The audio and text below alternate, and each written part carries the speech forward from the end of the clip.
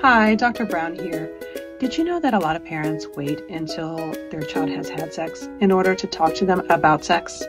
So that might be a little bit too late to discuss the prevention of sexually transmitted infections or pregnancies or even some of the nuances of having a sexual debut.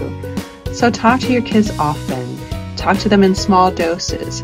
Use different scenarios in everyday life to bring up the conversation so it's not that just awkward, let's sit down and have the talk. You can watch TV shows that you normally enjoy together and bring examples from those into everyday life to have discussions about relationships.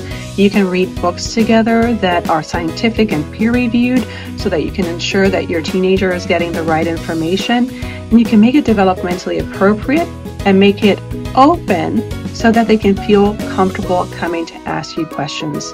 Answer the little questions so when the big questions come, they're ready to come to you.